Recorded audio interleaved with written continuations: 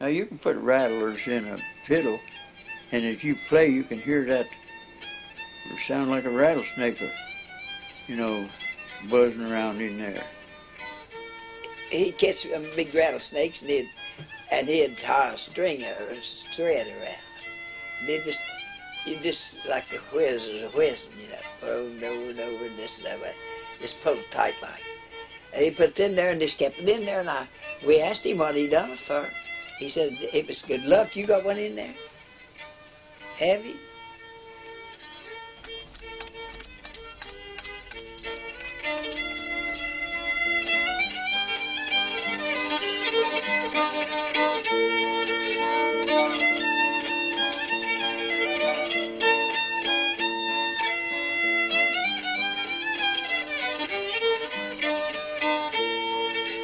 Now you tell Melvin Wine who had that.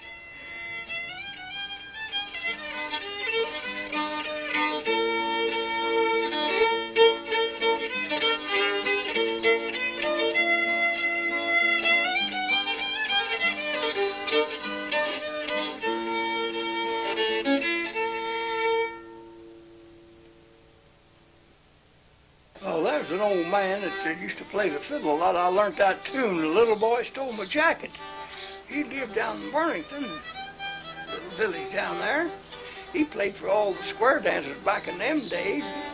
He just had the fiddle. He never had no other instrument. Just played the fiddle by himself. And my dad and my uncle, they'd go down there and they'd have them what they call play parties. And the girls the same. They'd come in there and they'd dance out there at that old schoolhouse. And the old man was getting old, up in years, and he began to get tired. And he told them, he says, I'm going to play another tune. I'm going to have to quit.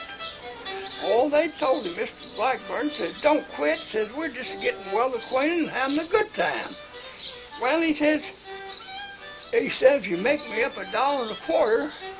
He says, I'll fill this building so full, so full of music you can't hear your own ears. Poor old Forey, he had a big sandy mustache. He's a big man. He whistled, and when he whistled, the air come through that. It sounded like wind blowing through a tree treetop. He kind of whistled when he blew but I learned that tune by him whistling.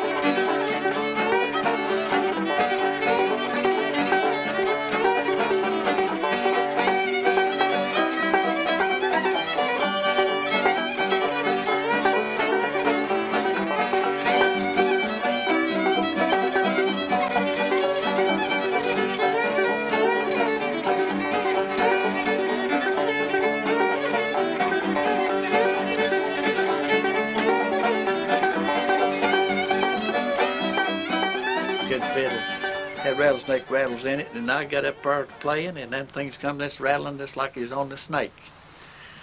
And I finally just quit when I got off the stage. I got out, took outside and shook around till I got those rattlers and took them out of there and put them in the fiddle case. Because they they'll get to, they'll they'll get to singing in there and just vibrate. You, you just ruins your fiddle. You know that? Yep, they'll jar just like he's on the snake if they get this right. Vibrate. You'll think he's a snake in kind of scary. Well, my grandfather was a name was Morris Greathouse, and he was a fiddle player. Come down around Barbour County, and he used to go to square dances. That's about the only entertainment they had back them days. But some guy always coming around wanting him to to teach him teach him how to play the violin or fiddle, whatever you call it. Uh, in them days, you called it the fiddle. And he didn't want to take no time on teaching him how to play the fiddle. He told him you'd have to give yourself up to the devil to learn how to play a fiddle. me and me and the booger man never got that thick.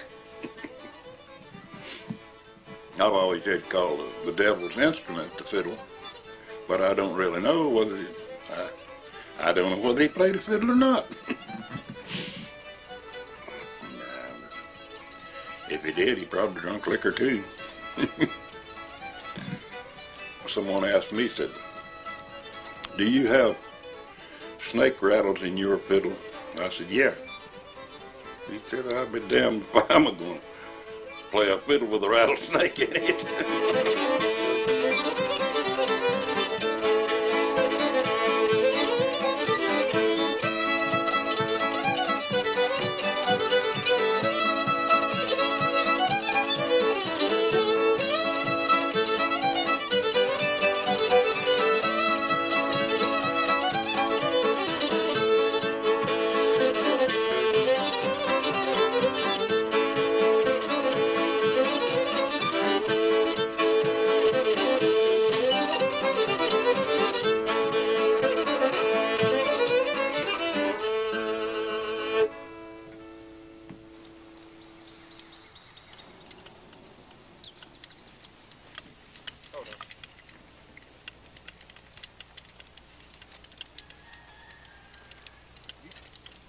Our summer age is gone, old winter's coming on.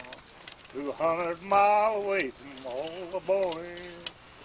There were rattlesnakes, good lord, crawling round our cabin door, and copperheads to keep us in along. In spite of all our woes, it's what we tell you goes. We spent many happy days on Brewer's Farm.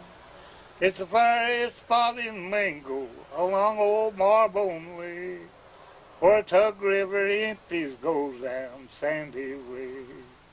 With the farmers in the dale, that spot we all love well, that lovely place we all call Brewer's Farm.